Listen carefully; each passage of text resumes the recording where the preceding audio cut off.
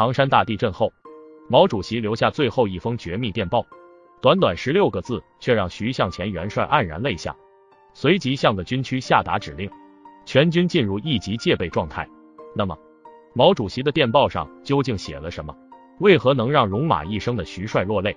而那一年又发生了什么事？徐帅收到伟人的绝密电报后，为何让全军进入一级戒备状态？时间进入一九七六年，那一年已经八旬的毛主席，身体状况一天不如一天，再加上身上患有多种疾病。一直都处于昏迷或者半昏迷的状态，于是党中央决定，除非有特别紧要的事，一般事情都不要惊动毛主席。可这一年注定是不平凡的一年，噩耗接踵而至。这一年的一月八日，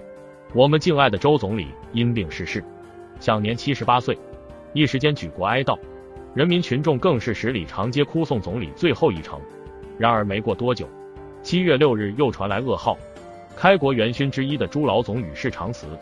享年九十岁。全国人民再次陷入悲痛的同时，毛主席也再一次深受沉重打击。周总理和朱老总可谓是毛主席人生中最重要的两个挚友，他们从抗日到新中国建立，一直不离不弃的陪伴在毛主席身边，但如今却一前一后的离开，这对于晚年的主席来说，无疑是沉痛的打击。但作为一名坚定的唯物主义者，毛主席知道生老病死是再寻常不过的事，所以他也坦然接受挚友和亲人一个又一个的离开，也从不向外宾隐瞒自己的健康情况。可在朱老总逝世半个月后，一场浩大的劫难降临在了中华土地上，就连经历过无数风雨的毛主席都为之黯然泪下。一九七六年七月二十八日三点四十二分五十三点八秒，河北唐山发生了我国有史以来最大的地震。震级达到七点八级，波及全国十四个省市自治区，甚至一百多公里外的北京都在晃动。而毛主席所居住的中南海也感应到了异常的震动。当时毛主席还没有入睡，多年晚上工作的习惯，就算身体不适，主席依然保持着。地面突然的颤动，门窗玻璃和床的晃动，主席意识到这肯定是哪里地震了。然而见惯了风雨的主席，如同往常一样镇定。还让身边的工作人员不要慌张。地震结束后，主席对着身边的人说道：“当地震的情况查清后，一定要跟自己汇报，然后便服药入睡。”而身边的工作人员出于安全的考虑，将熟睡的毛主席用担架抬到了一个具有抗震作用的房间。地震发生的第一时间，党中央的一众领导人立即召开了紧急会议，讨论这次地震带来的具体影响。以及后续救援工作，可此次地震太严重了，唐山的各种基础设施和通讯设备都崩坏了，里面的人联系不到外界，而外面的人也不知道里面发生的具体情况。就在此时，马不停蹄从唐山赶来的矿工副主席李玉林，被警卫员带进了国务院，浑身是血和泥土的他，在看到华国锋副总理时，顿时哭得像个孩子，一边哭一边汇报唐山的惨状。他用近乎沙哑的嗓音说道：“唐山平了，全都平了。”听了李玉林的汇报，在场的所有中央领导人知道，此次地震不容小觑，而灾后救援工作迫在眉睫。很快，超过十万解放军的部队陆续抵达灾区，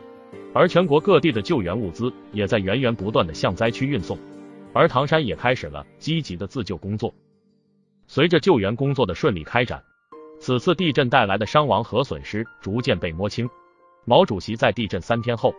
收到了华国锋副总理递交的初步统计。唐山的这次大地震，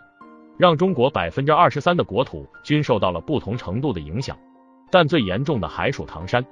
尽管地震持续的时间很短，只有二十几秒，但却释放出了相当于四百倍广岛原子弹爆炸的能量。地震发生的一瞬间，道路塌陷崩裂。建筑物纷纷坍塌，有的甚至直接碎裂开来。地震结束后，整个唐山市被夷为平地，而且地震发生在凌晨，当时人们正在熟睡中，数百万老百姓根本来不及反应，便被埋进废墟之中。毛主席得知此次地震让唐山的工业毁于一旦，无数民众受灾伤亡时，主席不禁潸然泪下。身边的工作人员看到这一幕，也不由得黯然伤神。因为这是他们第一次见主席如此。待毛主席情绪稍微稳定下来后，立即命令华国锋前往灾区看望慰问受灾群众。当时的毛主席身体已经不允许随便走动了，不然他可是会亲自去唐山看一看，和灾区百姓在一起。一九七六年八月四日，以华国锋为总团长的中央慰问团抵达唐山，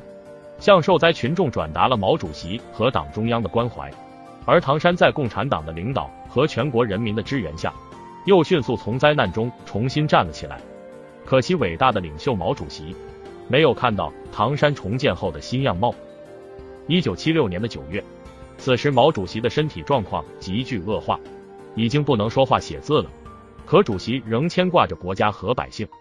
到了九月八日这一天，处于弥留之际的毛主席示意工作人员靠近自己，他先是用手敲了一下桌子，